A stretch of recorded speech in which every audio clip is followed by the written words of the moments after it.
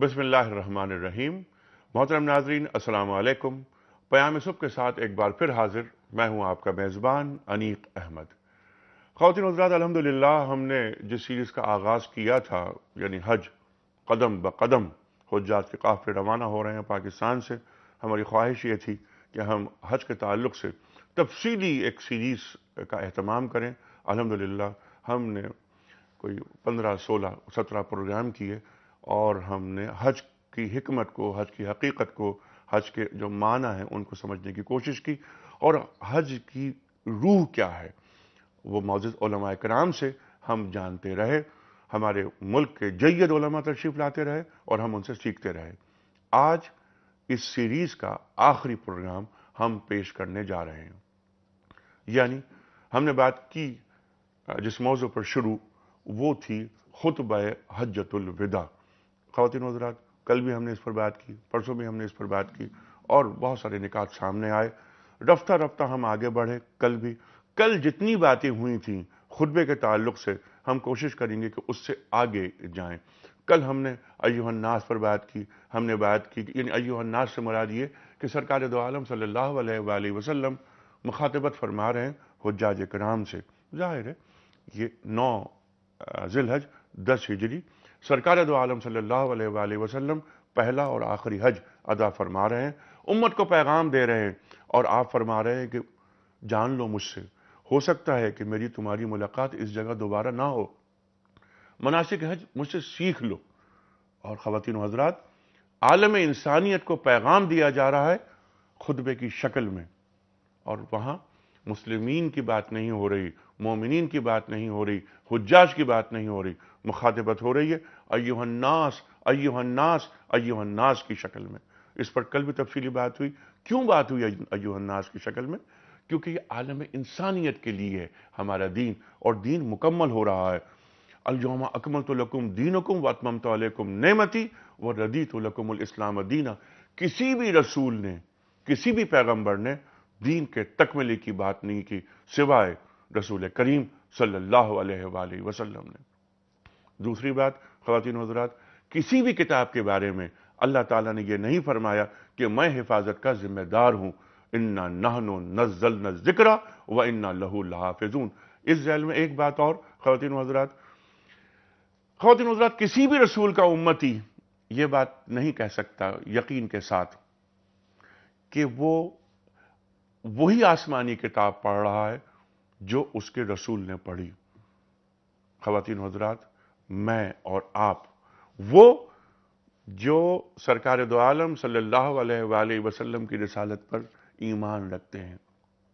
माँ काना मोहम्मद उन अबा अहादिम रजालकुम वला के रसूल अल्लाह व ख़ातमनबीन ख़वान हजरात, मैं और आप यकीन से, बल्कि कसम खा के ये कह सकते हैं कि मेरे रसूल ने जो किताब पढ़ी, जो कुरान करीम पढ़ा मैं भी वही कुरान करीम पढ़ रहा हूँ। कितना बड़ा एजाज है ये। बात करेंगे, बहुत सारी मौजू हैं आज, और हम कोशिश करेंगे, खुतबे को कवर करें। सूद पे आज हम बात करेंगे। औरतों की के एहतराम, उनकी हरमत, उनकी इज़्ज़त, उन पर बात करेंगे। आखिर खुतबे में क्या फरमाया जा रहा है? तीसरी चीज़, दीन में गुलू ना करो। तुमसे पहले उम्मतें बर्बाद हुई गुलू करने की वजह से। ये गुलू क्या होता है? ये हम जानेंगे अपने अहद के मुमताज़ ओलमा से। और आखिरी बात, आज हम डिस्कस करेंगे, आप फरमा रहे हैं सल्लल्लाहु अलैहि वसल्लम, मैं कुरान और सुन्नत छोड़े जा रहा हूँ। इनके साथ तमस्सुक रखना, जब तक इनसे जुड़े रहोगे, कभी भी गुमराह नहीं होगे। खातिन हजरात, तफसीलन बात करेंगे। इस वक्त हम जा रहे हैं लाहौर पयाम सुबह का आगाज आयात रब्बा रब्बानी की तिलावत से होता है बहुत शुक्रिया निक साहब आज हम सूरतुल बकरा की आयत नंबर एक सौ सत्तानवे तिलावत करेंगे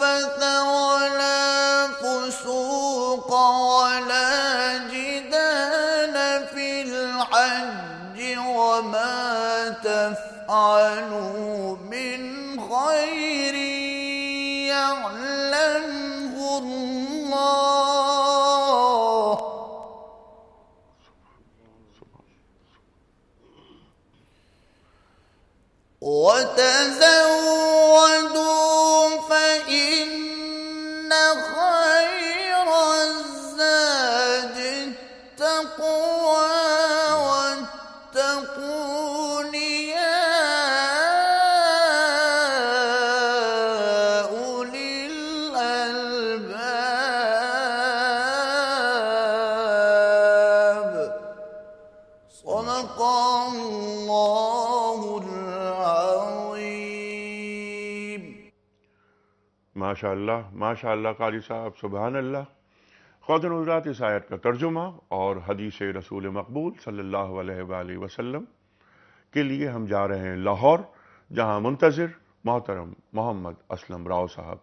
आइए एक बार फिर लाहौर चलते हैं। बहुत शुक्रिया अनीक साहब जजाकल्ला शुरू अल्लाह के नाम से जो बड़ा मेहरबान नहायत रहम वाला है। हज के महीने मुयन हैं। जो मालूम है तो जो शख्स इन महीनों में हज की नीयत कर ले तो हज के दिनों में ना औरतों से इख्तलात करे, ना कोई बुरा काम करे और ना किसी से झगड़े। और जो नेक काम तुम करोगे, वो खुदा को मालूम हो जाएगा। और ज़ादे राह, यानी रस्ते का खर्च साथ लेकर जाओ, क्योंकि बेहतर ज़ादे राह परहेजगारी है। और ए अहले अक्ल, मुझसे डरते रहो। जहे ये हदीस मुबारक मुस्लिम किताबुल हज से बयान की जा रही है। नबी करीम सल्लल्लाहु अलैहि वसल्लम ने फरमाया कि जो बैतुल्ला में आए और बेहुदा और नाफरमानी की बात ना करे तो वो इस हाल में लौटेगा कि उसकी माँ ने अभी उसे जना है। जजाकल्ला जजाकल्ला असलम राव साहब, ख़वातिन हजरा तशरीफ़ फरमा है मोहतरम, मौलाना मोहम्मद असद थानवी साहब, मुमताज़ आलिम दीन, आपके साथ तशरीफ़ रखते हैं। एक और बहुत मरूफ नाम हमारे मुल्क का, मोहतरम, मौलाना शुजाउद्दीन शेख साहब, खुतब हजतुलविदा इस सीरीज़ का आखिरी प्रोग्राम। इससे पहले कि मैं पहला सवाल रखूँ थानवी साहब के सामने दो बातें। एक बात यह कि मैं किताब का तारुफ आपके सामने पेश करना चाहता हूँ। बहुत अहम किताब और बहुत एक जाम किताब, मौजू खुतब हजतुलविदा ख़वान हजरात इस मौजू पर बहुत सारी किताबें हैं यकीन मौजूद हैं, और इस्लामी जमहूरिया पाकिस्तान में जो दीनी किताबें हैं, वो इशात के हवाले से सबसे ज़्यादा होती हैं। इस किताब की खास बात, जैसे मैंने अर्ज़ किया कि जाम किताब है, डॉक्टर निसार अहमद साहब ने इसे कंपाइल किया है, और बैतुल हिकमत लाहौर ने इसे शाये किया है, वो अफराद जो मुताला करना चाहें, इस किताब का ज़रूर मुताल करें। ख़वान हजरात, कल के सवाल का दुरुस्त जवाब और आज का सवाल। कल हमने सवाल रखा था आपकी खिदमत में कि सफ़ा और मरवा के दरमियान कितनी बार सही की जाती है, यानी कितनी बार दौड़ा जाता है। सही जवाब, सात बार। आज का सवाल नोट फरमा लीजिए। कुरान करीम में किस जानवर की आवाज़ को सबसे बुरी आवाज़ करार दिया गया है? कुरान करीम में किस जानवर की आवाज़ को सबसे बुरी आवाज़ करार दिया गया है? तीन ऑप्शंस घोड़ा, गधा या हाथी। खौतिन सूर्य लुकमान की आयत नंबर 18 में भी इसका ज़िक्र मौजूद है। ये एक मैं टिप दे रहा हूँ आपको। सही जवाब रवाना फरमाने के लिए आप हमारे, हमें फ़ोन कर सकते हैं जिन नंबर्स पर हमारे फ़ोन नंबर्स हैं zero two one three four five two seven double zero nine, zero two one three four five two eight zero six one हमारा ईमेल एड्रेस है P S at Dunya T V dot T V आप हमें three zero three one पर अपना दुरुस्त option SMS भी कर सकते हैं। थानवी साहब से आगाज़ करते हैं। थानवी साहब, कल आपने और शुजा साहब ने तफसीलन बातें हमें बताई खुतबे के ताल्लुक से, जिसका मैंने इख्तिसार से एक जायजा भी लिया। हम आगे बढ़ते हैं। हम चाहते हैं कि आज हम सूद पे से बात शुरू करें और उसके बाद तुम्हें जो औरतें दी गई हैं ये, अमानत के तौर पर दी गई हैं, इनका ख्याल रखो। आगाज़ कीजिए, सूद के हवाले से क्या कहता है? बिस्मिल्लाहिर्रहमानिर्रहीम। खुतब हजतुलविदा में जनाब रसूलुल्लाह सल्लल्लाहु अलैहि वसल्लम ने बहुत ही अहम बातें इरशाद फरमाई हैं। क्योंकि हुजूर अकरम सल्लल्लाहु अलैहि वसल्लम ने उस खुतबे में ये बात कही कि मुझे हज करता हुआ देख लो, शायद इसके बाद मेरी और तुम्हारी मुलाकात ना हो। और इसी हज के अंदर वो आयत करीमा भी नाजिल हुई अलियम अकमल तो लकुम दीनाकुम। और जिससे ये अंदाज़ा हुआ कि जनाब रसूलुल्लाह सल्लल्लाहु अलैहि वसल्लम की उम्र मुबारक के आखिरी साल और आखिरी महीने और आखिरी दिन है चूँकि दीन की तकमील हो गई तो यानी वो जो काम अल्लाह ताला ने जनाब रसूलुल्लाह सल्लल्लाहु अलैहि वसल्लम के ज़िम्मे किया था आपने उसको मुकम्मल कर दिया। और आपने तीन मरतबा सवाल भी किया कि अलाहल बल्लग तो अलाहल बल्लग तो अलाहल बल्लग तो लोगों से पूछा कि क्या मैंने पूरा काम मुकम्मल कर दिया है कर दिया? लोगों ने कहा तो फरमाए फलयुबल शाहिदुलगायब कि जो लोग यहाँ मौजूद हैं वो मेरे इस पैगाम को और मेरे इस खुतबे को आने वाले लोगों और आने वाली नस्लों तक भी पहुँचा दें। तो अल्हम्दुलिल्लाह ये जो खुतब हजतुलविदा पे हम लोग गुफ्तु कर रहे हैं जिसकी तकमील आप आज कर रहे हैं ये जनाब रसूलुल्लाह सल्लल्लाहु अलैहि वसल्लम के उस हुक्म की भी तकमील हो रही है कि अलाबल शाहिदुलगायब और जो ये इसके जो जो गोल्डन वर्ड्स हैं इस खुतबे के, हर आने वाली नस्ल तक और हर आने वाले लोगों तक लोगों को पहुँचाने चाहिए। इस तमहीद के बाद मैं आपकी खिदमत में अर्ज़ करता हूँ कि कल अला इन आकुम की बात हो गई लाफल अरबियन की बात हो गई। तीसरी जो अहम बात जनाब रसूलुल्लाह सल्लल्लाहु अलैहि वसल्लम ने फरमाई, वो कहा कि अला इन रिबल जाहिलियत मौजूआतन, व अव्वल रिबन अज़ाउ मिन रिबा इना रिबा अब्बास इबन अब्दुलमुत्तलिब फ़हु मौजू कुल्लु फरमाया कि अला इन रिबल जाहिलियत मौजूद कि जाहिलियत में जो सूद का निज़ाम चलता था और पैसे की पैसे से तजारत होती थी और यानी टाइम वैल्यू ऑफ़ मनी के मुताबिक जो रुपए के ऊपर रुपया लिया जाता था, जिसको सूद है, आज मैं उसको अपने कदमों तले कुचलता हूँ और मैं इस निज़ाम के ख़त्म करने का और बातिल होने का और इनवैलिड होने का ऐलान करता हूँ। वह अव्वल रिबन अदाउ मिन रिबाइना। और जनाब रसूलुल्लाह सल्लल्लाहु अलैहि वसल्लम चूँकि हर काम की इब्तदा खुद करते थे तो फरमाया कि सबसे पहला सूद जो मेरे ख़ानदान का सूद है जो मेरे सगे चचा अब्बास इबन अब्दुलमुत्तलिब ने लोगों को रकमें दी हुई हैं उसको मैं माफ़ करता हूँ कि वो रकम सूद नहीं लिया जाएगा। कुरान पाक में भी अल्लाह ताला ने फरमाया वह इन तुब तुम फ़लकुम रूसो अम्वालिकुम। कुरान पाक कहता है कि अगर तुम सूदी कारोबार करते हो और सूद पर रुपया देता हो और तुमने अब तोबा कर ली और इससे तुमने इजनाब तो फ़लकुम रूस अम अम्वालिकुम जो तुम्हारी असल रकम है सिर्फ़ वो तुम्हें वापस लेने की इजाज़त है सूद वापस लेने की इजाज़त नहीं है। ठीक। सूद पे गुफ्तु करने के दो मराहल हैं।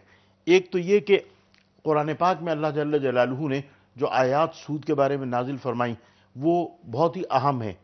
कुरान पाक में अल्लाह जल्ल जलालू ने अपने और जनाब रसूलुल्लाह सल्लल्लाहु अलैहि वसल्लम से लड़ाई का तस्करा किसी भी शनात के ऊपर नहीं किया है। किसी भी गुनाह के ऊपर नहीं किया है। किसी भी नाफरमानी के ऊपर नहीं किया है। लेकिन सूद का मामला ऐसा है कि इसमें अल्लाह ताला ने कहा कि वज़रू मा बकिया मिन रिबा इन कुन तुम मोमिन फ़ैलम तनु फ़ाज़न फ़ैलम तफ़ालू फ़ाज़नु बहरब मिन अल्लाह व रसूली अल्लाह ताला फरमाते कि ये सूद के काम से एकदम हट जाओ। इसको अपनी आमदनियों का ज़रिया न बनाओ। इस हराम माल को अपने पेट के अंदर मत डालो। फ़ैलम तनु फ़ैलम तफ़लू फ़ाज़नु बहरब मिन अल्लाह व रसूल अल्लाह ताला फरमाता अगर तुमने ये काम ना किया तो फिर अल्लाह से और उसके रसूल से लड़ाई के लिए तैयार हो जाओ।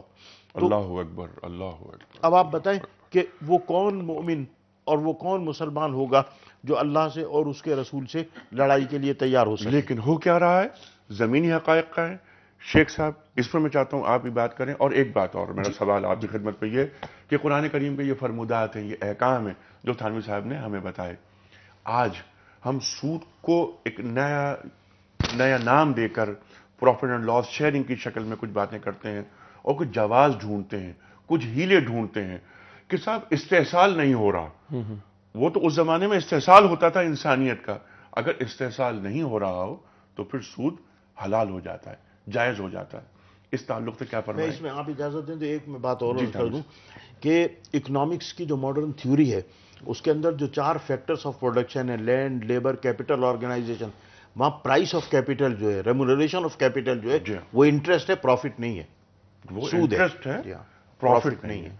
शेख साहब। बसमीम देखिए रिसालत माब सल्लल्लाहु अलैहि वसल्लम के खुतबे की जामियत देखिए कि ज़िंदगी के तमाम गोशे वहाँ कवर हो रहे हैं और ऐसे कवर हो रहे हैं कि आज जब ये तालीमात हम पढ़ते हैं तो लगता है कि आज के दौर के लिए है।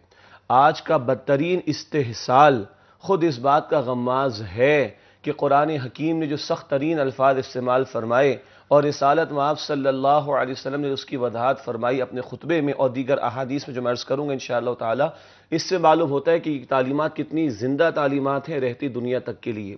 नबी अकरम सल्लल्लाहु अलैहि वसल्लम ने यह भी शाद फरमाया इबन माजा की रिवायत है कि सूद के गुनाह के सत्तर हिस्से हैं और कम तरीन हिस्सा कम तरीन दर्जा यह है कि कोई शख्स अपनी वालदा के साथ जिना का इरतकब करे। आप जरा गौर फरमाइए हम इसको हमसे मुराद हमारा माशरा बड़ा लाइट लेता है और बड़े आराम से हम जवाज और हीले तलाश करना शुरू कर देते हैं। कुरान कह रहा है कि अल्लाह और अल्लाह के रसूल से जंग के लिए तैयार हो जाओ। कभी 91 में शरी अदालत का वर्डिक्ट आता है तो हमारा एक सियासतदान उसके खिलाफ पिटीशन लेके जाता है। कभी 2001 में डिसीज़न आता है तो फिर अपने मनपसंद जजिस को बिठाकर फैसला तब्दील कराया जाता है। गोया अलल ऐलान इस मुल्क में अल्लाह और उसके रसूल के खिलाफ जंग जारी की गई है और आज तक उसके खमियाजे हम भुगत रहे हैं। अच्छा आप ही की बात को आगे बढ़ाते हुए जबकि हम आईन पाकिस्तान की पासदारी के बड़े अलमबरदार हैं दावेदार हैं कि इस मुल्क में कोई भी कानून ऐसा नहीं बन सकता जो सुन्नत के खिलाफ। खिलाफ हो। आइन की पासदारी आइन की बालादस्ती इस पर पूरा पाकिस्तान लड़ता है कि आइन की बालादस्ती हो। लेकिन ये सरासर खुल्लम खुल्ला। मुनाफिकत है। मुनाफिकत है। दावा करते हैं कि हम अल्लाह को और रसूल को मानते सल्लल्लाहु अलैहि वसल्लम। दावा हमारा यह है कि हमने ऑब्जेक्टिव रेजोल्यूशन में लिखकर दे दिया।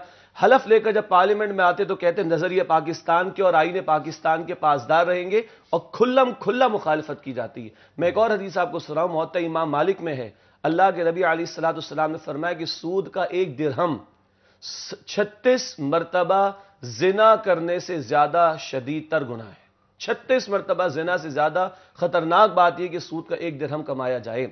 अब ये जो लोग कहते हैं कि जनाब, इस्तेसाल अगर नहीं हो रहा हो, मुझे आप ये बताइए अनीक साहब 1988 के बाद से हमारी हुकूमतों ने आलमी जो भी इदारे हैं, आईएमएफ, वर्ल्ड बैंक, इनसे बड़े भारी पैमाने पर सूद लेना शुरू किए, सूदी कर्जे लेना शुरू किए। ये कौम, इसकी नस्लें सूद दर सूद की अदायगी में खत्म होती चली गई। कभी हमारा बच्चा बारह हज़ार रुपए का मकरूज पैदा होता था, फिर अट्ठाईस हज़ार रुपए का मकरूज पैदा होता था, फिर वो बयालीस हज़ार रुपए का मकरूज पैदा होता था। आज गालिबा सत्तर अस्सी हज़ार रुपए फ़ी बच्चा मकरूज होकर पाकिस्तान में पैदा होता है। ये इसके वो भयानक नतज है जो रब्बुल आलमीन हमें उससे बचाना चाहता है। ठीक है अच्छा ये बात तो हुई। एफ़ की या वर्ल्ड बैंक की या एशियन बैंक की ना तो उनसे तो लेते हैं हम कर्जे वगैरह उस पर जो इंटरेस्ट है। और फिर उनके कर्जों की किस्त उतारने के लिए भी कर्जे लेते हैं फिर कर्जे लेते हैं। और फिर दुबई में इजलास हो जाता है। उनमें जाके बात होती है। गुलामी को मजीद पक्का किया जाता और हम है। अपने एसेट्स उनके हवाले कर रहे हैं अपने मुल्क के एसेट्स उनके, एसेट्स उनके हवाले कर रहे हैं। इन इंटरनेशनल जो ऑर्गेनाइजेशन है उनकी बात हम नहीं कर रहे। हम आ, आम ज़िंदगी में एक आम मुसलमान जो। कुरान करीम पर मुकम्मल ईमान रखता है। कुरान करीम हमारा हमारी जान कुरान करीम पर कुर्बान। कुरान करीम में जब वजाहत से यह बात आ गई कि अगर तुम सूद में इन्वॉल्व हो गए तो अल्लाह और अल्लाह के रसूल से जंग के लिए तैयार हो जाओ। तो एक आम मुसलमान क्यों इस पर अमल नहीं करता? दो ही बातें हैं ना जो मैं गुजशत दो प्रोग्राम्स में अर्ज़ कर चुका हूँ। आज हम कुरान को जानते हैं और मानने का दावा करते हैं, मगर उस हदीस को जहन में लेकर आइए कि कुरान पढ़ेंगे मगर उनके हलक से नीचे नहीं उतरेगा। हमारे दिल में एहतराम तो है, अदब तो है, हुरमत रसूल पर जान भी कुर्बान, हुरमत कुरान पर जान भी कुर्बान। अल्लाह ताला हमारे इन जज्बात को कबूल फरमाए। मगर क्या हमारा पाँच छः फिट का वजूद इस बात का गमाज है कि कुरान हमारे दिलों में उतर चुका है? रसूलुल्लाह की तालीमात पर हम दिल से ईमान रखते हैं। आज जैसे कि आपने फरमाया कि हीले और बहाने जवाज निकाले जाते कल भी मैंने आखिर में बात अर्ज़ की थी हम एक दूसरे को धोखा दे सकते हैं जस्टिफिकेशन दे सकते हैं। अल्लाह के दरबार में ये झूठे बहाने नहीं चलेंगे। और सूद का मामला क्या है? और अल्लाह को धोखा देकर जन्नत हासिल नहीं, नहीं की की जा सकती। ये अपने आप को धोखे में डालकर जहन्नम में तो जाया जा सकता है। अल्लाह के साथ ये मामला करके जन्नत में दाखिला मुमकिन नहीं है। दाखिला उसी वक्त मुमकिन जो अल्लाह की रजामंदी हासिल की जाए। और रजामंदी अल्लाह और अल्लाह के रसूल की इतात के बगैर मुमकिन मुमकिन नहीं। मैत व रसूल फ़कत फ़ाज फ़ौजन अजीमा। जो अल्लाह और उसके रसूल की इतात लेकर आएगा वो अजीम कामयाबी हासिल करेगा। ये अल्लाह का मैार सूर्य आज़ाब आयत नंबर इकहत्तर में। ठीक। अच्छा अब थानवी साहब क्योंकि हम अगला मौजू और प्रोग्राम क्योंकि आप इजाज़त दें तो एक आयत कुरान पाक की और। अल्लाह ताला ने कुरान पाक में फरमाया एक तो याजुल्लदीनामुल्ला ताकुलु रिबा अज़ाफ मज़ाफ दूसरी जगह कुरान पाक में अल्लाह ताला ने फरमाया अल्लज़ीना याकुलून रिबा ला यकूमून इल्ला कमा यकूमुल्लज़ी यतखब्बतुहु शैतानु मिनल मस ज़ालिका बिअन्नहुम क़ालू इन्नमल बैउ मिस्लु रिबा व अहल्लल्लाहुल बैअ व हर्रम रिबा अल्लाह ताला फरमाते हैं कि जो लोग सूद खाते हैं सूद को शेर मादर की तरह हजम करते हैं ला यकूमून इल्ला कमा यकूमुल्लज़ी यतखब्बतुहु शैतानु मिनल मस। जैसे मखबूतुल हवास आदमी होता है ये कब्रों से इस तरह उठाए जाएँगे। क्यों? जालिक भी अन्नहुम कालू इन्नमल बैउ मिस्ल रिबा। चूँकि उन्होंने कहा था कि जो तिजारत तुम करते हो, कारोबार करते हो, दुकानदारी करते हो, ये भी तो सूद की तरह है। तो कुरान कहता अहल्लाहुल बैआ व हर्रम रिबा।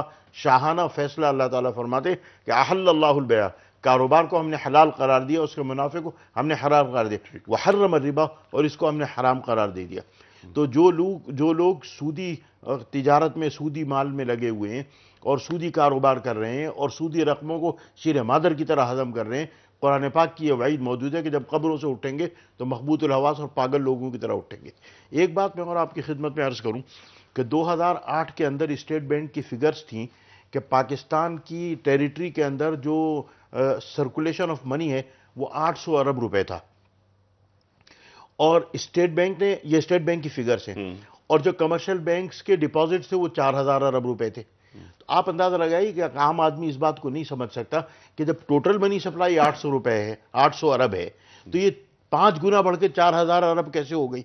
यह है क्रिएशन ऑफ़ बैंक मनी यानी प्राइवेट बैंक जो है, जो ये कमर्शियल बैंक है, ये क्रिएशन ऑफ़ मनी करते हैं और मनी सप्लाई से फाइव टाइम्स यानी मैं एक मिनट अपनी बात खत्म करूँ कि इनको जो इंटरेस्ट ये देते हैं, वो सौ रुपए पे देते हैं और कमाते पाँच सौ रुपए हैं। इसकी मैं आपको एक मिसाल दूँ कि जो एक नाम इस्लामी बैंक है पाकिस्तान में जो 1990 में बना तो उसकी एक ब्रांच थी।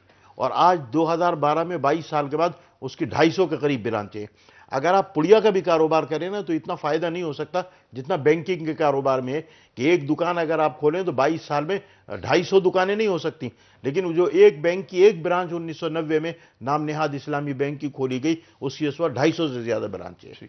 क्रिएशन ऑफ़ बैंक मनी की वजह से। अच्छा ये भी इस्लामी बैंक यानी बिल्कुल ऐसा महसूस नहीं होता कि इस्लामी शराब देखिए इस्लामी जुआ। आपने बड़ी खूबसूरत आपने बड़ी खूबसूरत मेरी एक साहब से मुलाकात हुई जो बैंकर हैं कोई 50-45 साल से और 40 बरस पहले सबसे पहले इस्लामिक बैंकिंग की इब्तदा इस शहर में उन्होंने की थी और अब भी वो एक बैंक के बड़े चीफ एग्जीक्यूटिव हैं।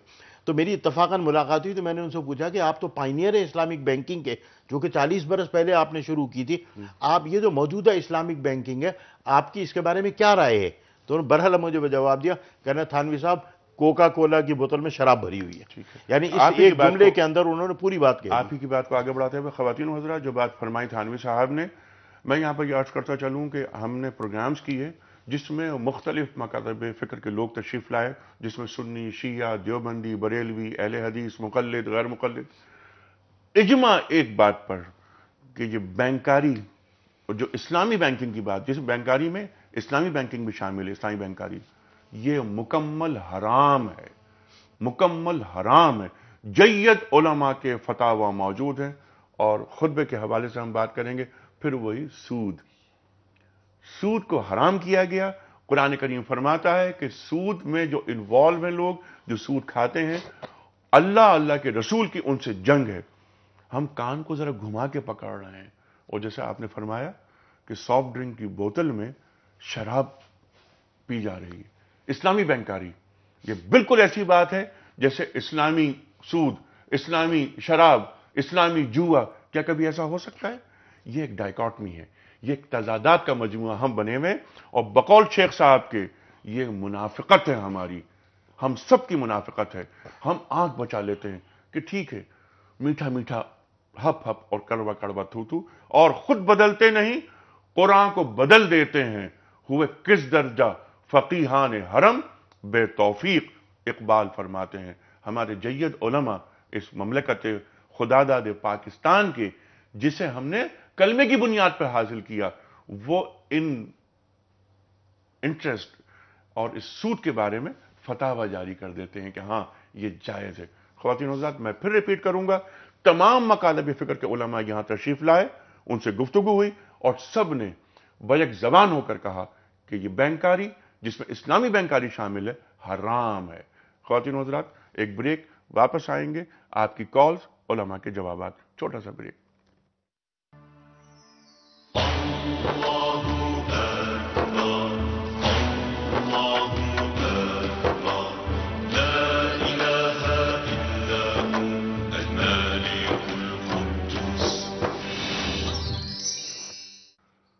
वेलकम बैक खवतिन हजरात प्याम सुबह में एक बार फिर खुश आमदेद तशीफ फरमा है मोहतरम मौलाना मोहम्मद असद थानवी साहब और मोहतरम मौलाना शुजाउद्दीन शेख साहब बात हो रही है हज सीरीज़ का यह आखिरी प्रोग्राम और मौजू हमारा खुतब हजतुलविदा खवतिन हजरात सरकार दो आलम सल्लल्लाहु अलैहि वसल्लम सूट के हवाले से जो आपके फरमुदात हैं उन पर गुफ्तु हो रही है कुरान करीम जो सूट के बारे में फरमाता है अहकाम देता है उस पर भी गुफ्तु हो रही है हम बात करेंगे मजीद इस सिलसिले में और हम चाहते हैं कि कुरान करीम की एक बहुत अहम आयत, जिसमें अल्लाह ताला ये फरमाता है कि अल्लाह ताला सूद को घटाता है और सदक़ात को बढ़ाता है। उस पर भी हम बात करवाएँ थानवी साहब से। इस वक्त मैं सवाल रिपीट कर रहा हूँ आपकी खिदमत में। कल का सवाल ये था कि सफ़ा और मरबा के दरमियान कितनी बार सही की जाती है। कल सवाल हमने ये पूछा था आपसे, सही जवाब है सात बार। आज का सवाल नोट फरमा लीजिए। कुरान करीम में किस जानवर की आवाज़ को सबसे बुरी आवाज़ करार दिया गया है? तीन ऑप्शंस घोड़ा, गधा या हाथी। खातिन हजरात दुरुस्त ऑप्शन के लिए सूर्य लुकमान की आयत नंबर 18 देखी जा सकती है। उसमें जवाब मौजूद है। दुरुस्त ऑप्शन रवाना फरमाने के लिए हमारे फ़ोन नंबर हैं zero two one three four five two seven double zero nine zero two one three four five two eight zero six one आप हमें ईमेल कर सकते हैं। हमारा ईमेल एड्रेस है P S at Dunya TV dot TV और आप हमें एसएमएस कर सकते हैं थ्री ज़ीरो थ्री वन पर। थानवी साहब, अल्लाह ताला सूद का जो माल है, उसको घटाता है और सदकात को बढ़ाता है। पुरानी करीम इर्शाद फरमा रहे जी, कुरान पाक में अल्लाह ताला ने फरमाया, यमहकुल्लाहु रिबा वही उर्बी सदाकत। अल्लाह ताला फरमाते हैं कि जो सूद है उसको हम घटाते हैं और सदक़ात को बढ़ाते हैं। सदक़े के लिए जनाब रसूलुल्लाह सल्लल्लाहु अलैहि वसल्लम फरमाया मदीने में खजूर एक बेकीमत चीज़ थी चूँकि बागात बहुत थे। फरमाया कि एक खजूर भी अगर सदका करोगे और अल्लाह की राह में दोगे तो अल्लाह ताला उसको अपने दाने हाथ में लेते हैं और इतना बढ़ाते हैं जैसे ओहद पहाड़। अच्छा प्रैक्टिकल वे में अगर आप देखें यमहकुल्लाह रिबा। अगर मैं सौ रुपये बैंक में आज ले जाके रखता हूँ और बैंक मुझे उस पर चाहे इस्लामिक या गैर इस्लामिक वो दस या बारह परसेंट देता है। तो जब मेरा साल ख़त्म होता है तो मेरे वो सौ रुपये बढ़कर एक सौ दस या एक सौ बारह रुपये हो जाते हैं। जबकि जो इन्फ्लेशन है, वो मिनिमम बीस, बाईस, पच्चीस परसेंट है। तो जब मैं वो पैसा लेके बाज़ार के अंदर जाता हूँ ख़रीदारी करने के लिए तो मेरे सौ रुपये के नोट की कुत ख़रीद रह जाती है अस्सी। ये मैं दस रुपये, बारह रुपये और मिलाता हूँ तो नब्बे या बानवे। तो मेरा जो सौ रुपए का नोट था एक साल पहले वो एक साल गुजरने के बाद बानवे रुपए के बराबर रह जाता है। हालाँकि वो मैं दस या बारह रुपए सूद के ले चुका होता हूँ। ठीक है। तो पाकिस्तान में हर साल आदमी इसका तजर्बा करता है कि कुरान पाक में जो अल्लाह ताला ने फरमा दिया और अल्लाह तो क्या रसूलुल्लाह का फरमाया हुई अटल है कि यम हकुल्लाबा तो उस सूद की वजह से हमारी कुत ख़रीद साल में इतनी गिर जाती है कि सूदी रकम मिला के भी हम उस रुपए से इतना माल नहीं खरीद सकते जो बारह महीने पहले खरीद सकते थे। थानवी साहब ये बात आपने फरमाई। आलिम दीन के साथ साथ इकोनॉमिक्स के प्रोफेसर की हैसियत से। मैं इस, आपकी बात को आगे बढ़ाता हूँ कि हाँ ये तो डी वैल्यू हो गया ना पैसा हमारा। ट्वेंटी परसेंट इन्फ्लेशन बढ़ गया, वगैरह वगैरह। सदका अल्लाह से कुर्बत कर रहा है, पैसे से मोहब्बत को खत्म कर रहा है, इंसानियत पैदा कर रहा है इंसान के अंदर। इंसान को करीब कर रहा है, एहतराम इंसानियत पैदा कर रहा है। पैसा मैं रखता हूँ बैंक में। सूद से सबसे बड़ी बात क्या है? मेरे अंदर दौलत से मोहब्बत पैदा हो जाती है। दौलत बहुत अच्छी चीज़ है और दौलत से मोहब्बत इंतहाई बुरी चीज़ है। शेख साहब? अच्छा और वो असबका तो तत्फाउल बलियात जनाब ने बलाओं को जो बलाओं को टालता है। बलाओं को टाल देता है सदका। जी, शेख साहब। माल का आपने फरमाया तो हदीस शरीफ में है बुखारी की रिवायत कि हर उम्मत का कोई फितना और मेरी उम्मत का फितना माल, माल है।, है। और ये सदकात और ज़कात इस माल की मोहब्बत को निकालने का ज़रिया। इन्फ्लेशन की बात आई तो याद रखिए कि इन्फ्लेशन की बुनियादी वजह भी सूद ही है। जिस माशरे से सूद खत्म हो जाएगा वहाँ इन्फ्लेशन महँगाई इस तरह के इस्तेसाल के तस्वुरात ही नहीं आएँगे। और आज जिस दौर में हम जी रहे हैं हर हर लेवल पर सूद लगता है और आप और मैं उसको भुगतते हैं एंड यूज़र और कंज्यूमर के तौर पर पेट्रोल की सूरत में सीएनजी की सूरत में बिजली की सूरत में। यह है इस्तेसाल दर इस्तेसाल जिसके नतीजे हमारे सामने आ रहे हैं। किसी और प्रोग्राम में इंशाल्लाह हम बात करेंगे कि पेपर करेंसी क्या होती है जी। और इस पेपर करेंसी के ज़रिए पूरी दुनिया को माशी तौर पर किस तरह मुकैयत कर दिया गया है और इसमें किस किस की चाल है दुनिया की कोई भी ट्रांजेक्शन हो यूएस डॉलर में होती है जी। और कोई भी ट्रांजेक्शन हो वो ऐसा मुमकिन नहीं कि वाया न्यूयॉर्क ना हो। होती। न्यूयॉर्क से होती भी आती है और उस पर एक कमीशन होता है जो कटता है वहाँ। खातिन इस पर भी इंशाला कभी हम बात करेंगे कि कितनी बड़ी साजिश है अगर हम आलमी तजारत यूएस डॉलर से हटा दें तो बहुत बड़ा कमाल होगा, कमाल होगा। बहुत बड़ा कारनामा होगा। इस पर भी इंशाला सोचना पड़ेगा। हमें मिन हैसुल उम्मा कुछ कॉल्स लेते हैं। अस्सलाम वालेकुम। हेलो। जी अस्सलाम वालेकुम सर। जी जी सलामकुम जी वालेकुम सलाम। सर फरमाइए टीवी की आवाज़ बंद कर दीजिए। जी मैंने कर दी है जी सर फरमाइए क्या सवाल? मेरा सवाल सर ये है कि जो सलाद नमाज़ में सलाद पढ़ दे सलात व सलामो या, या रसूल अल्लाह ये या रसूल अल्लाह कहना जायज़ है या नाजायज है? अच्छा ठीक है। अगली कॉल लेते हैं। अस्सलाम वालेकुम। वालेकुम अस्सलाम। भाई क्या हाल है? अल्हम्दुलिल्लाह। कौन बोल रहा है? मैं दिनेश बोल रही हूँ कराची से। जी फरमाइए सर। मैडम? भाई मेरा आपसे एक सवाल है लेकिन है आपके मौजूद से थोड़ा हटके कुर्बानी के बारे में। क्या? एक आदमी जो कि कुर्बानी करने की स्टार्ट भी रखता है। हाँ। यानी कि मैं- यानी कि मैं लेडी की बात कर लेडीज़ की बात कर रही हूँ। हाँ। उसका बचपन में अकीका नहीं हुआ हुआ तो क्या कुर्बानी उससे फ़र्ज़ है? अच्छा अकीके से कुर्बानी का ताल्लुक क्या है? मैंने यानी ठीक है, कि इस पे भी वो बात है करते मेरी रिश्तेदारी मैंने उनसे पूछा मैंने बोला था मैंने कहा आप यानी कि अच्छे खासी माशाल्लाह टीचर हैं। ठीक है। बीस पच्चीस हज़ार रुपया तनख्वाह है तो कुर्बानी नहीं देती। मैंने उनसे बोला मैंने कहा। कुर्बानी क्या करें आप तो। आगे से उन्होंने बोला कि मेरा हकीका नहीं हुआ हुआ। बिल्कुल। अच्छा हमारे उलमा कराम ने तफसील से हमें तालीम किया हमें बताया तमाम इबहम दूर कर दिए। तमाम कन्फ्यूज़न दूर। एक तो ये कि जो साहिब इस्तात है उसको वो कुर्बानी देगा नंबर वन नंबर टू ये कि वो खवातीन जिनके पास जेवरात मौजूद हैं ज़क़़त निकलती है वो भी कुर्बानी देंगी। ज़रूरी नहीं कि मैं कुर्बानी दे रहा हूँ कर रहा हूँ। एक बकरा मैंने कर दिया मेरा बेटा अगर वो भी जॉब कर रहा है तो वो भी कुर्बानी देगा। यानी एक मेरी कुर्बानी एक मेरी बीवी की कुर्बानी एक मेरे बेटी की कुर्बानी। थाइम साहब ऐसा ही है ना? जी, बिल्कुल। कल आपने तफसील से बात करी अब हम जरा आगे बढ़ते हैं क्योंकि हमें ये प्रोग्राम आज खत्म करना है। अच्छा ये बात इसमें कह दूँ कि अकीका एक है कुर्बानी से कोई ताल्लुक नहीं अकीका सुन्नत है। कुर्बानी वाजिब है। ठीक है कुछ कॉज लेते हैं। अच्छा ठीक अस्सलाम वालेकुम। अस्सलाम वालेकुम। हेलो। वालेकुम जनाब। जी वालेकुम अस्सलाम। अस्सलाम जी वालेकुम अस्सलाम सर फरमाइए। मैं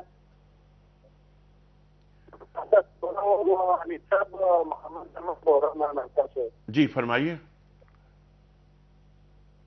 हाँ सर मेरा क्वेश्चन है ये सूद के बारे में मेरा क्वेश्चन है कि जो औरतें बेवा होती हैं अगर वो पैसा बैंक में रख के उसका प्रॉफिट लेकर अपना गुजारा करती हैं क्या ये जायज़ है? हाँ ये ये सवाल ये बहुत अहम सवाल है कई बार आया है लेकिन हम एक बार फिर रखते हैं।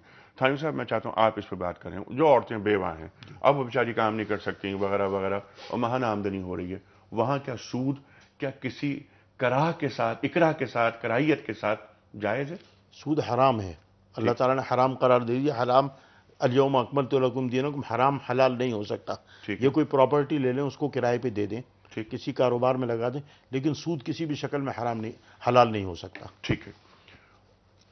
शेख साहब औरतों के ताल्लुक से अल्लाह से डरो उनके साथ नेक सलूक करो। तुमने इन्हें अल्लाह से अमानत के तौर पर हासिल किया है फरमा रहे हैं सरकार दो आलम सल्लल्लाहु अलैहि वसल्लम।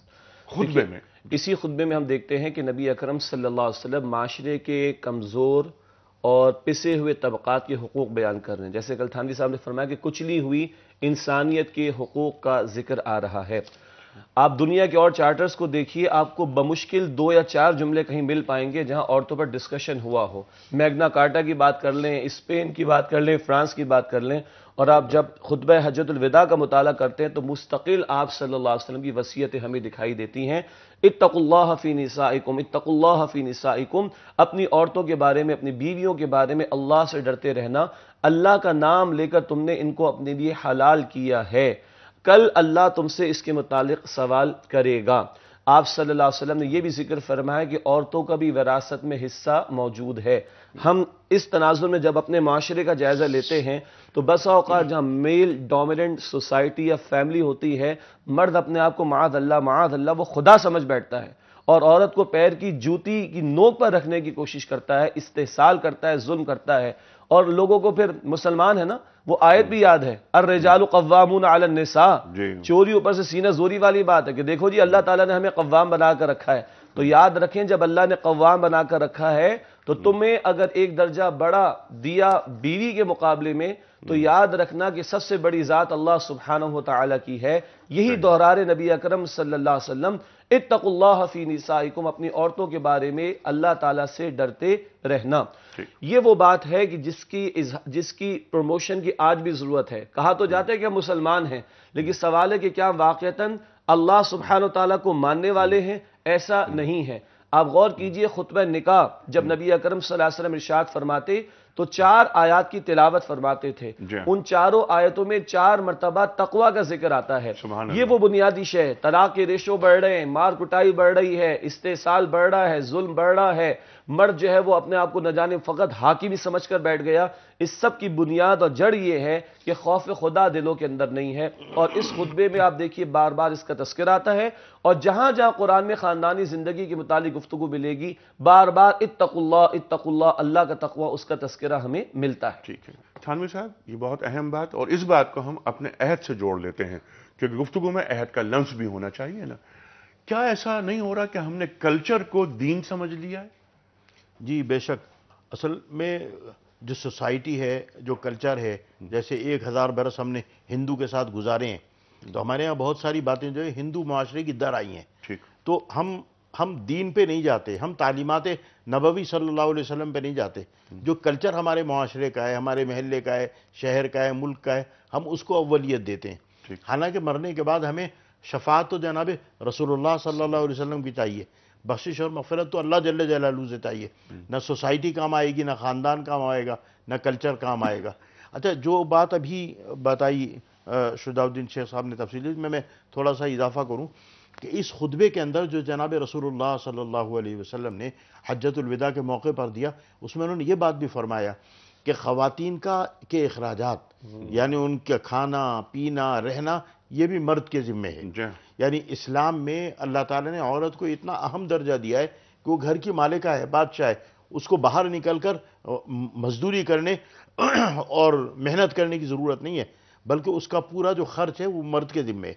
अच्छा जो बेटी है उसका बाप के ज़िम्मे है जो बहन है उसका भाई के ज़िम्मे है जो बीवी है उसका शौहर का ज़िम्मे है। यानी मर्द को जो कव्वाम का लफ्ज़ है वो बहुत लंबे माना लिए हुए और उसकी तशरी जनाब रसूलुल्लाह सल्लल्लाहु अलैहि वसल्लम ने फरमाई है। मैंने शायद पता नहीं कल भी ज़िक्र किया या नहीं किया मैं इस बात को भी दोहराना चाहता हूँ कि कुरान पाक में जहाँ अल्लाह ताला ने बनाया ना कि युल्लिमुहुमुल किताब वल हिकमा कि जो आखिरी नबी आएँगे वो किताब की और हिकमत की तालीम देंगे। हमत क्या है? ये अहादीस नबी वसल्लम। तो कुरान में अल्लाह ताला ने फरमाया व अनजलना अली कल किताब वल हिकमा व अल्लम कम तकुन तालम। क्या नबी, हमने आप किताब भी नाजिल की और हमत भी नाजिल की। तो मालूम है हमत ये भी मत, माफ़ कीजिए, ये भी नाजिल मिन अल्लाह है। ये भी, ये, लेकिन ये भाई ये गैर मतलू है। और कुरान पाक में एक तीसरी जगह अल्लाह ताला ने फरमाया आमिनू बिमा अनजल तो जो मैंने नाजिल किया उस पर ईमान लाओ। तो मालूम है ईमान कुरान और हदीस पे दोनों पे लाना पड़ेगा। अगर एक पे लाएँगे एक पे नहीं लाएँगे तो मुकम्मल नहीं। बिल्कुल तो जो अर्रजाल कवाम निसा की आयत कुरान पाक की अहादीस में जो जनाब रसूलुल्लाह सल्लल्लाहु अलैहि वसल्लम ने खातन के हकूक़ बयान किए खुतब हजतुलविदा में बयान किए इनको इनके साथ जब तक जोड़ेंगे नहीं मानी पूरे मुकम्मल नहीं हो सकते। बिल्कुल। और हुन्ना लिबासुल्लकुम तुम लिबासुल्लहुन्ना वो तुम्हारा लिबास है और तुम उनका लिबास हो। और कुरान करीम ने शेख साहब ने बड़ी खूबसूरत बात की कि जनाब रसूलुल्लाह सल्लल्लाहु अलैहि वसल्लम ने फरमाया कि इन खवातीन को अल्लाह के नाम पर तुम्हारे लिए हलाल हाँ। किया गया है। यानी एक अजनबी खातून एक अजनबी घर एक अजनबी खानदान से आती है। और यानी जब निकाह तो निकाह जो पढ़ा गया अल्लाह के नाम से वो मियाँ बीवी का रिश्ता कायम हुआ। और अल्लाह ताला ने ऐसा रिश्ता कायम कर दिया कि जो कुरान पाक में कहा था कि मिन आयाती अन खलक़कुम मिन अनफुसिकुम अज़वाजन लितस्कुनु इलैहा। वजअल बैनकुम मवद्दतम व रहमा। अल्लाह ताला फरमाते हैं कि हमने अल्लाह की निशानियों में से एक निशानी है कि एक ऐसा रिश्ता तुम्हारे लिए पैदा किया कि तुम में से तुम्हारे लिए बीवियाँ पैदा की। लितस्कुनु ताकि तुम उनके पास आके सुकून हासिल करो। करो। वजअल बैनकुम मवद्दतम व रहमा। और तुम्हारे दरमियान मोहब्बत भी पैदा की और एक दूसरे के लिए गमगुसारी का जज्बा भी पैदा किया। ठीक है कुछ कॉल्स ले लेते हैं। अस्सलाम वालेकुम।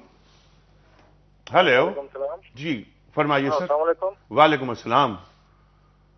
यूनिक साहब मैं आतिफ बोल रहा हूँ अमेरिका से मेरा एक क्वेश्चन है आपसे जी फरमाइए। मेरा क्वेश्चन ये है कि मैं बैंक में जॉब करता हूँ। तो जैसे उलमा आज बात करते हैं सूद के हवाले से। जी। तो मेरा सवाल ये आपसे कि बैंक में जॉब करने से जो। आपको है आया वो सूद में इन्वॉल्व हो जाती है या वो हमारे लिए जायज़ है? और इस अगर मैं सदका या कुछ निकालता हूँ। जी। वो आया वो जायज़ कि नहीं। प्लीज़ ये जरा बिल्कुल ठीक है। थानवी साहब इसमें जल्दी से बात ही आपको सवाल समझ में आ गया ना?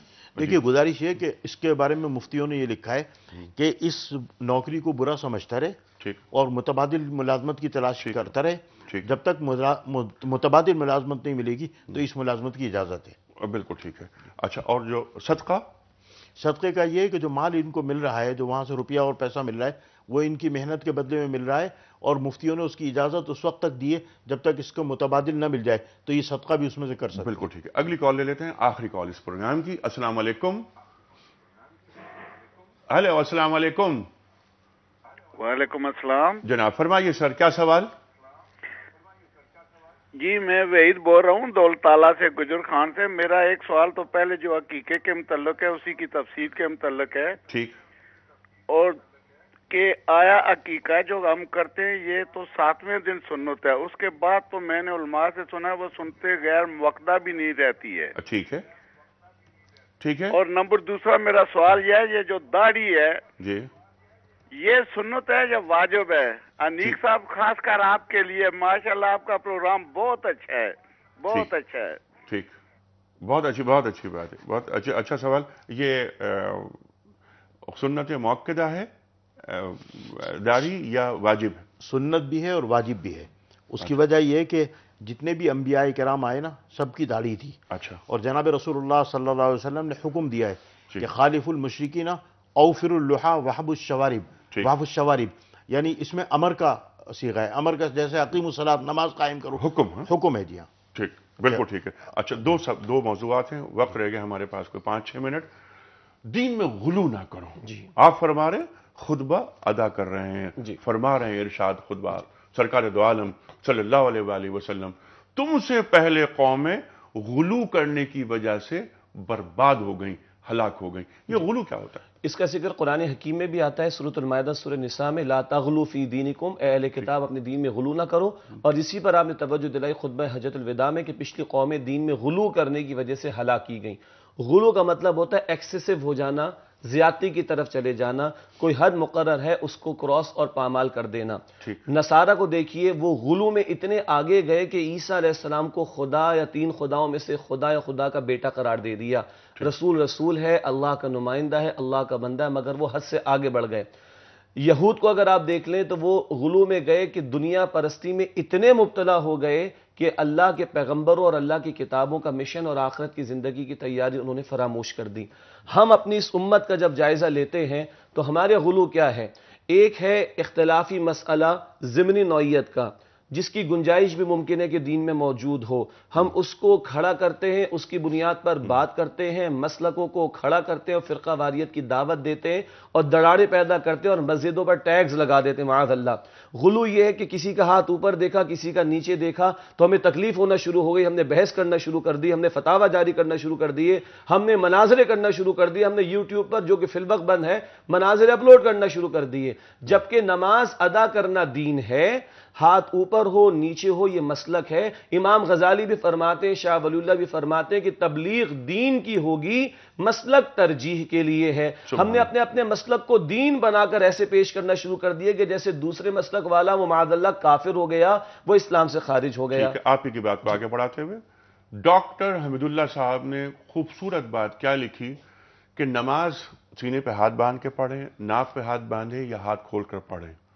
सरकार दो आलम सल्लल्लाहु अलैहि वसल्लम ने हर अंदाज से नमाज़ पढ़ी और अल्लाह ताला को अपने महबूब की हर अदा इतनी पसंद आई बल्कि कयामत तक के लिए महफूज कर लिया। और ये सिर्फ़ डॉक्टर हमीदुल्ला मरहूम ही का कहना नहीं हर दर्द रखने वाले आलिम दीन ने असलाफ ने यही बात बयान की है कि ये सब अदाएँ अल्लाह के रसूल सलाम की हैं बल्कि एक अदा पर ज़िंदगी में एक मरतबे भी अमल किया है तो अल्लाह ने क़यामत तक के लिए महफूज फरमा दी। और दर्द रखने वाले उलमा ये भी कहते हैं कि हर हर अदा की एक एक मरतबा तो ज़िंदगी में नक्काली ज़रूर कर लिया करो चाहे तुम्हारा एक आम मसलक क्यों ही ना हो लेकिन वो अदा भी नस्बत रखती है रसूलुल्लाह सल्लल्लाहु अलैहि वसल्लम से तो उम्मत, वहदत उम्मत की बात है। तो आज गुलू के अनिसाब जो हम कत्लो गारत गरी की तरफ़ चले जाते हैं अपने मसलकों की बुनियाद पर मस्जिदों पर ताले हमारे लग जाते हैं टैग्स लगा देते हैं।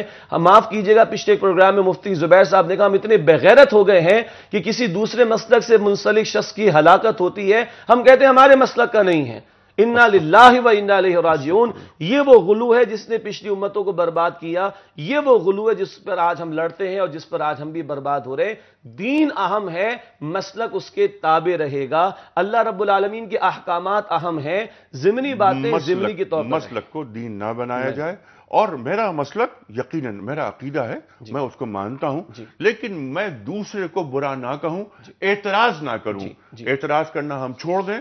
हमारे 80 फ़ीसद मसाइल खत्म और हो अहम जाएँ। बात कॉमन बातों पर आए जैसे अहले किताब से मुकालमे में कहा कि तालो इला कलीमतिन सवाई बैनना इज्तमाही इतफाकी बातों को प्रमोट करें अपने इख्तलाफी मामला को अपने इलमी माहौल में अपनी मजालिस तक अपने मसाजिद तक महदूद रखें। पब्लिक में जब भी आए तो इत्तेफाकी उमूर की दावत देनी चाहिए। ठीक है। क्योंकि इंसान अपनी खूबियों पर ज़िंदा रहता है दूसरे की खामियों पे नहीं, पहली बात। दूसरी बात यह कि मेरा गलत साबित हो जाना आपके सही साबित होने को कहाँ ज़ाहिर करता है?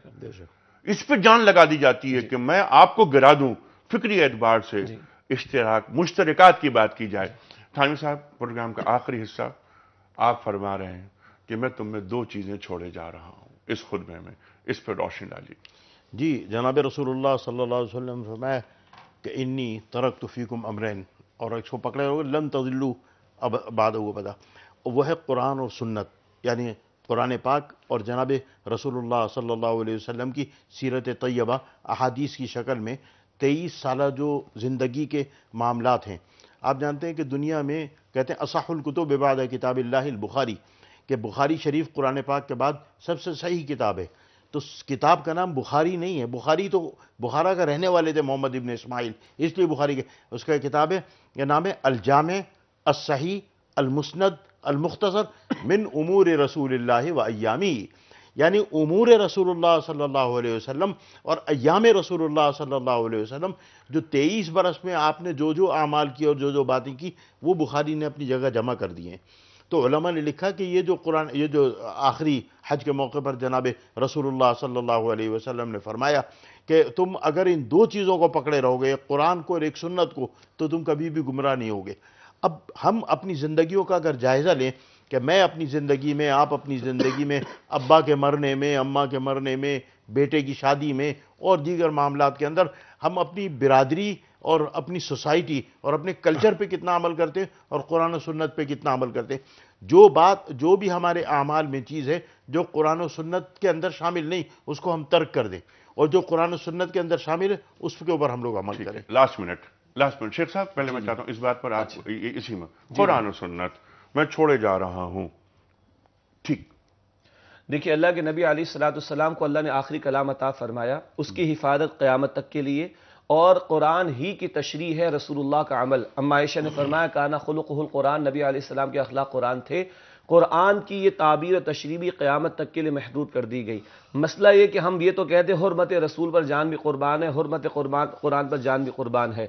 ठंडे दिल से सोचिए। जैसे कि थानवी साहब ने फरमाया कि आज जब मेरे मामला मेरे सामने हैं, मैं बाप हूँ, मैं शोहर हूँ, मैं बेटा हूँ, मैं कारोबारी आदमी हूँ मस्जिद का खतीब हूँ, मैं किसी का शागिर्द मैं किसी का उस्ताद। क्या मैं इन मामला में कुरान को खोलता हूँ कि कुरान मुझे क्या रहनुमाई देता है? और क्या और, और क्या, क्या मैं इतवा कर रहा हूँ? जी और क्या मैं अल्लाह के नबी के उसवा को पढ़ता हूँ कि इसमें मेरे लिए रहनुमाई क्या है? जब तक ये रविश मेरे अंदर पैदा नहीं होती मेरा दावा दावा रहेगा उसका कोई अमली सबूत नहीं। और आप सल्लल्लाहु अलैहि वसल्लम ने फरमाया कि दो चीज़ें छोड़े जा रहा हूँ अगर थामोगे तो ना कभी गुमराह होगे ना हलाक। आज हलाकत भी है गुमराही भी है। क्यों हम मानने का दावा करते हैं मगर हम खोलते नहीं हैं पढ़ते नहीं हैं अपनी ज़िंदगी में नाफिज करने की कोशिश नहीं करते।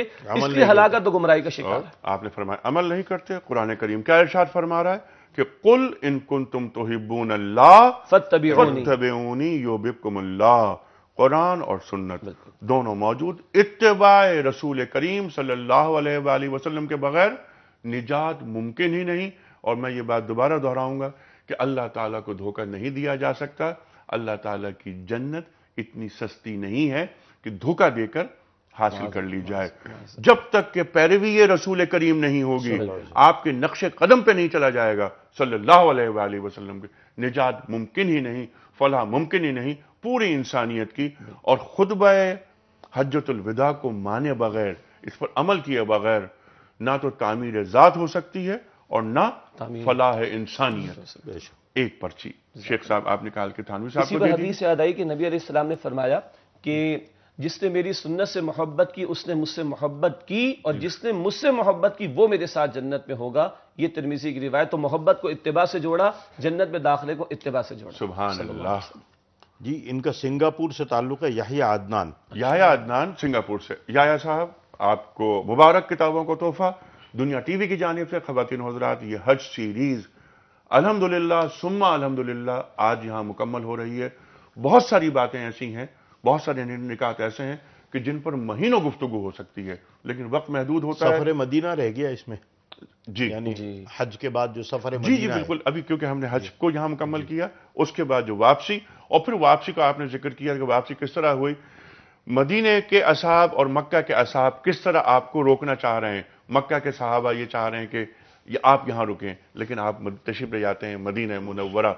खवातीन हजरात, ये बहुत अहम नुकता उठाया थानवी साहब ने। इसमें भी इंशाल्लाह हम बात करेंगे। कल हम बात करेंगे, जिस मौजू पर मौजू है, इख्तलाफ जौजैन। हमारे घरों के मसाइल बढ़ते जा रहे हैं। हमारे माशरे में तलाकों का रेशो बढ़ रहा है। क्यों बढ़ रहा है? हम तो मुसलमान हैं और खुतबे के हवाले से बात हुई। बहुत सारी बातें आएँगी इन वक्त बहुत कम है, वरना मैं बहुत सी बातें कहना चाह रहा था। कल अनीक अहमद दोबारा आएँगे और हमारा पैनल तब्दील हो जाएगा। कल तक के लिए इजाज़त, खुदा हाफिज़।